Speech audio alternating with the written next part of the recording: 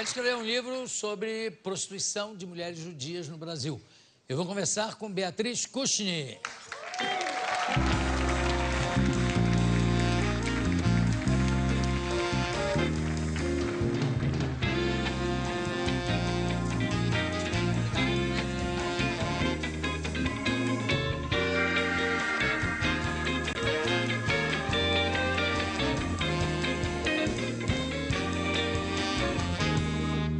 Diga, não ouvi. Eu tenho um desse pequenininho, ainda não consegui me organizar Não muito conseguiu, com sim. é, me organizar muito com ele. Ah, que é bom porque ficam as informações que eu preciso, tá tudo aqui, vai virando de pato, não precisa ficar aquele monte de papel.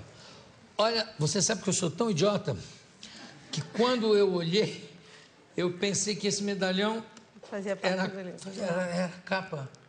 Não. Que coisa mais. Esse medalhão é o grande mistério que a gente tenta um pouco. é, Qual é o mistério? É uma bisavó sua ou não? Podia ser, não tinha o menor problema, mas é, é um pouco a história do cemitério israelita de Inhaúma, que é o primeiro cemitério judeu da cidade do Rio de Janeiro. Ele está numa situação de bastante abandono, diferente de outros cemitérios de polacas pelo país.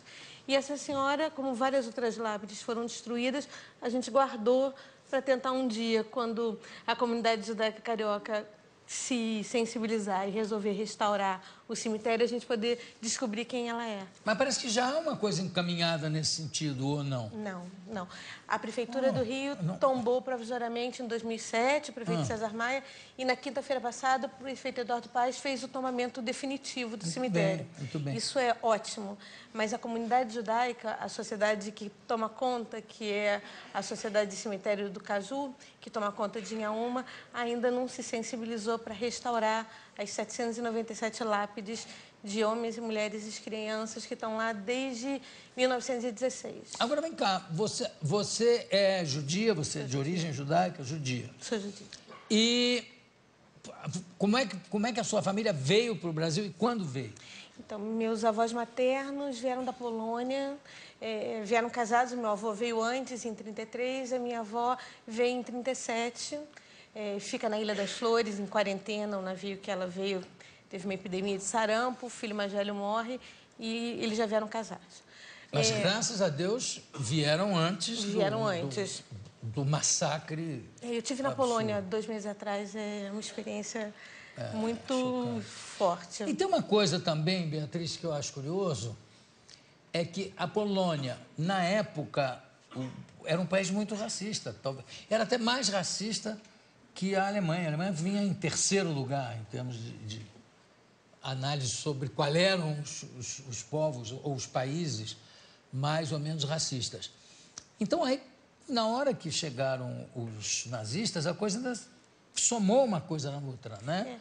Apesar deles quererem anular não só os judeus poloneses, mas eles achavam que todo polonês fazia parte de uma subraça. E depois, eh, na Polônia, hoje em dia, você encontra muitos judeus que permaneceram depois da guerra e teve o comunismo e eles não se não se falam não se auto-intitulam mais judeus então eu fui a restaurantes judaicos com a minha mãe a gente queria falar em Idas e tal e eles não querem mais se identificar como judeus porque sofreram muito enfim é, muito claro. muito difícil Agora, esse, o livro chama-se Baile de Máscaras, ah, pela editora Imago. Mulheres judias e prostituição, as polacas e suas associações de ajuda mútua. Baile de máscaras. Agora, aqui no caso, você se refere especificamente às prostitutas polonesas ou É, as polacas. polacas, é, né? isso. E que na época, se eu não me engano, quer dizer, na época do mangue, no, no auge do mangue, havia uma generalização, né? Quer dizer, as alemãs eram polacas, né? as francesas também eram polacas e as polonesas eram polacas. É, e as polacas às vezes se faziam passar por francesas porque tinha essa áurea da Belle Époque, então dormir com uma francesa era quase como dormir com uma França, então subia, status. então subia de preço no mercado. E é, ah, é verdade que havia uma, uma máfia, eu não, não me lembro o nome, mas tinha uma coisa qualquer de. Ziv Migdal. Como é que é? Ziv Migdal. Ziv Migdal, É. que era uma espécie de, de máfia de judeus mesmo, que, que faziam esse tráfico de, de- de escravas brancas entre a Europa e o Brasil. É assim. A prostituição não é uma atividade que os judeus não conhecessem na Europa Oriental. A maior parte dos bordéis no final do século XIX estão na mão dos judeus. Então, essas moças, quando elas vêm, e não só para o Brasil, elas vão para os Estados Unidos, para a Argentina, para Xangai, para todos os países que têm uma forte imigração, onde você vai ter mais homens do que mulheres. Então, esse é um lugar propício para a prostituição. Por isso é que elas vêm. Claro. Elas vêm porque elas não têm alguma coisa fundamental, elas não têm o dote, elas não vão fazer bons casamentos. São famílias numerosas, é uma miséria muito grande. É, então, elas vêm, elas não têm nenhuma inserção no mercado de trabalho é, qualquer, então elas vêm para o mercado que elas conhecem.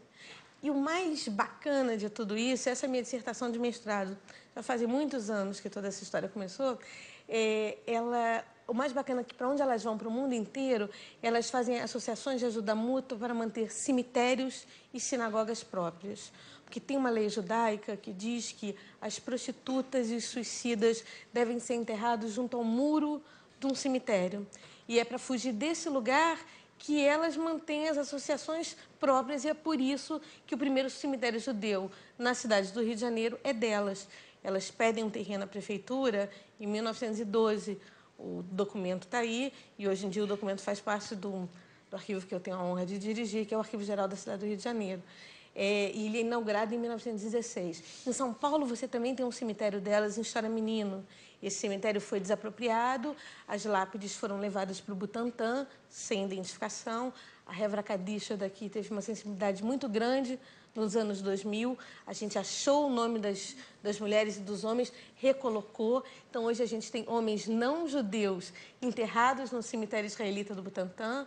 E o Rabino Sobel, a quem eu agradeço sempre, fez uma descoberta da Matsev, uma, uma, inauguração das lápides, no dia da inauguração das lápides, da lápide do Pfeffer. Porque ele falou, olha, o cemitério vai estar cheio e eu quero convidar todo mundo a ir lá depois. E recentemente a gente fez a mesma coisa em Cubatão. A prefeitura fez e de novo a Revra Cadista de São Paulo foi lá, foi lá, restaurou todo o cemitério, recolocou o nome nas lápides e cuida do cemitério até hoje. O que a gente não vê acontecendo, infelizmente, no cemitério do Rio.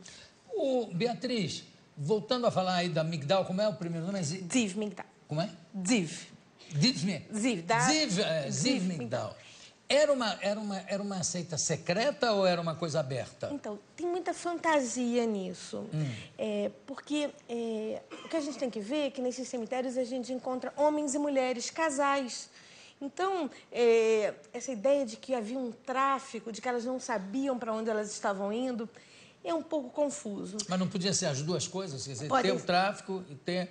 Isso. Porque eu li alguns livros onde há a, informa... a informação de que havia tráfico, que era, que era quase como um, um, uma associação de caftens, de, de exploradores que operavam na Europa e também faziam esse intercâmbio. É, mas eu encontrei cafetinas também. Como? Eu encontrei cafetinas, cafetinas de, judias, donas de casas, tanto em São Paulo, e quando o Ademar de Barros fecha a zona de prostituição, elas se elas abrem casas no Rio, elas fazem uma exportação Sim. do seu mercado. Então. Tem umas fotos muito boas que eu tá. gostaria tá que a gente visse. Olha que maravilha. É. Isso é do seu blog. É. Como é que é o blog? É http polacas.blogspot.com. Blogspot. Você anota para mim, por favor. Ah, vamos em frente. É, são... Que maravilha, olha. As fotos são máximas. Né? Vamos lá. É, essas moças já morreram todas, vocês sabem, né? O que está subindo. Tira da cabeça. Vamos lá.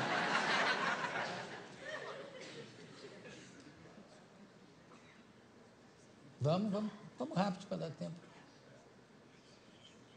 Tem mais uma. Aí. Agora me, me, me diga, a, essas as polacas do mangue tinham esse nível, eram mulheres desse nível de sofisticação e de beleza? Tinham muitas muito bonitas. O Moreira da Silva namora uma, até tem um, uma foto policial dela, ele faz uma música para ela chamada Judia Rara.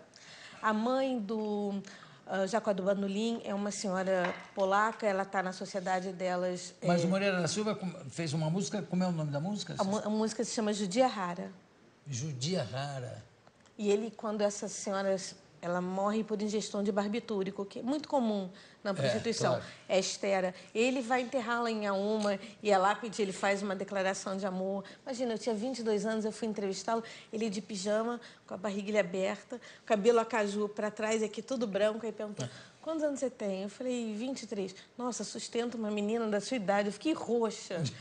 aí ele, com, e o apartamento onde ele estava, ele falou, olha, esse apartamento eu comprei com as joias da Estera. Quando ela morreu, ela me deixou as joias, eu vendi e uma coisa que assim, ele não dizia que conheceu ela na zona do Mangue. Ele era motorista de ambulância e conheceu a Estera numa casa de amigos. Eles tinham essa delicadeza, entendeu?